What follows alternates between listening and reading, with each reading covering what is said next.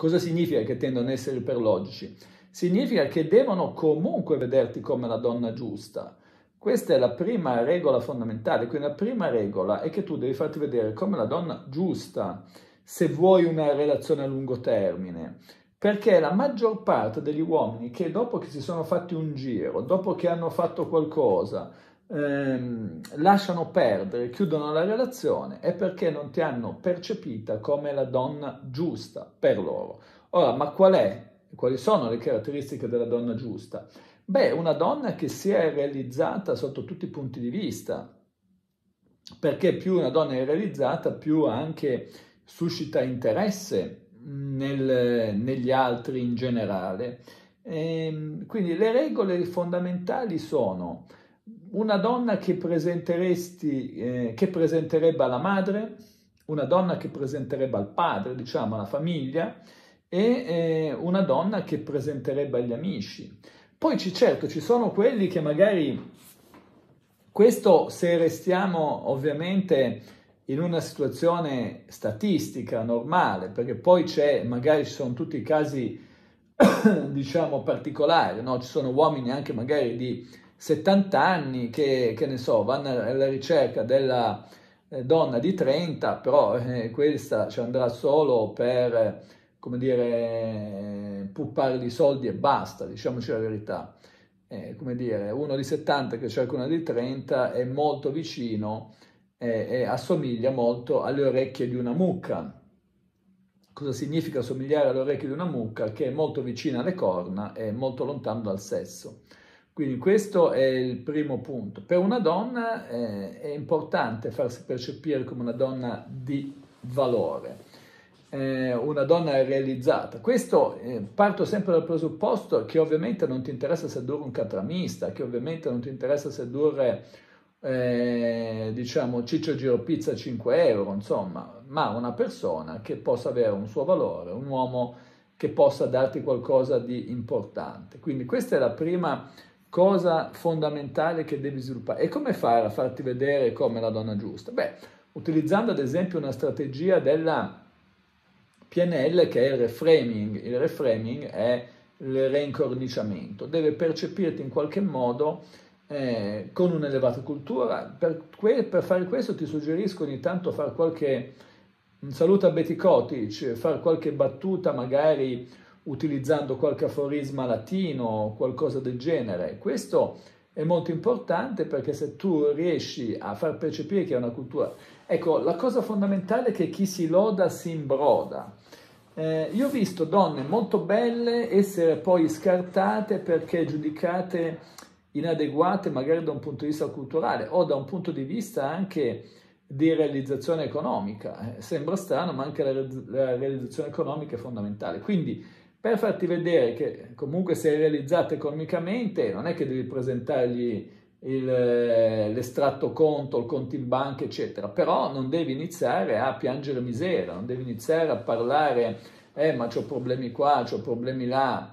E poi ci sono anche quelli che si agganciano alle persone problematiche, ma la maggior parte però non è così, diciamo, di fondo, no? Quindi, e, eppure questo è il primo punto fondamentale. Quindi perché bisogna bypassare gli eventuali meccanismi di difesa della sfera logico-razionale? Questa è la prima regola base, farti percepire come la donna giusta per lui. Ovviamente qua vengono in aiuto anche tutte le strategie, quindi salutiamo anche Roxy, salutiamo anche Betty Kotić, eh, in aiuto tutte le strategie della PNL perché il ricalco è fondamentale, il ricalco verbale, il ricalco non verbale, sono tutte azioni che sono molto importanti. Eh, un'altra cosa, un altro punto fondamentale è farti percepire come una donna femminile ma non azzoccolata. Ecco, questo è un altro punto molto importante perché ehm, diciamo che l'orgoglio maschile è anche quello di dire insomma che sei una donna femminile. La bellezza è quella che è, ognuno è fatta a modo suo, ma non è tanto la bellezza quella che conta, di fatto la bellezza in, in, di per sé è abbastanza statica, quello che conta molto di più è il, ehm, il linguaggio del corpo, la femminilità, il sorriso, la gentilezza, essere, come dire, materna, perché diciamoci la verità, gli uomini vanno spesso alla ricerca di una figura, eh, la femminilità richiede anche l'affettuosità, questi sono tutti punti estremamente importanti, estremamente fondamentali. Eh, ovviamente devi farti percepire in questo modo, non è che devi dirlo, perché chi si loda, tra virgolette, si imbroda, quindi tu non devi dire assolutamente nulla, ma devi eh, agire, diciamo, soprattutto a livello non verbale, in modo tale che eh, il maschio che ti interessa, che l'uomo che ti interessi, faccia focus su quelle qualità lì. Questo è, una, è un punto molto importante, no? spingere la persona a focalizzarsi sul, eh, su queste caratteristiche che tu vai a manifestare.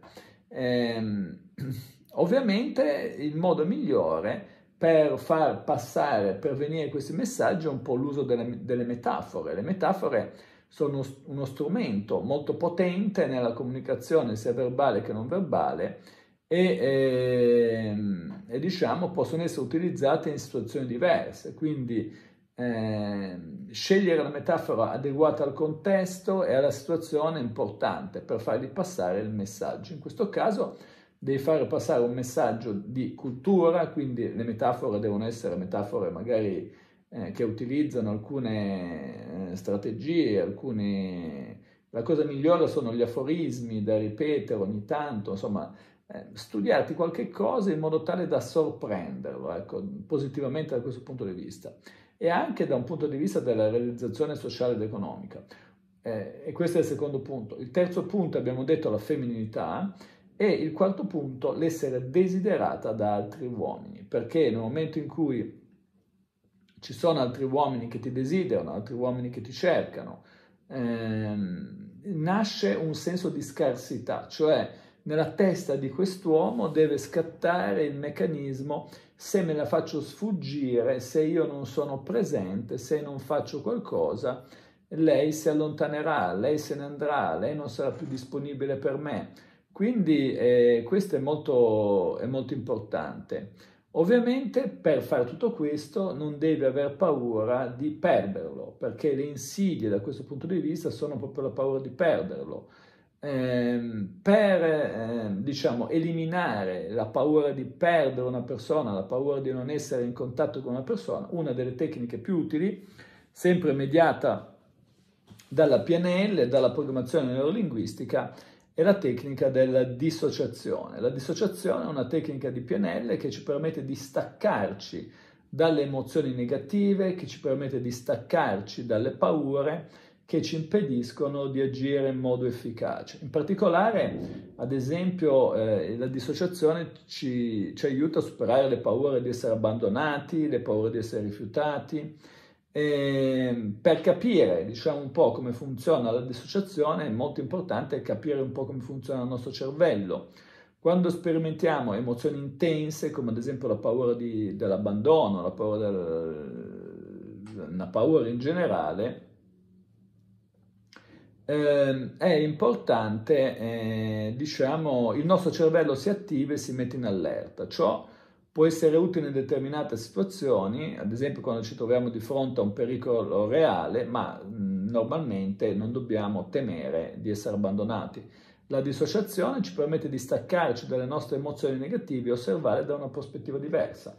È come se ci staccassimo da, da noi stessi e guardassimo le cose.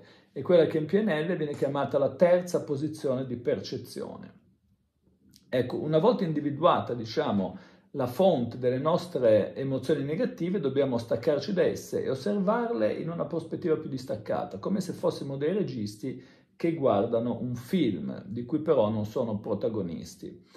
Ehm, e immaginare di essere un osservatore esterno che guarda se stessi. In questo modo riusciamo a prendere le distanze dalle emozioni negative, dalla paura di essere,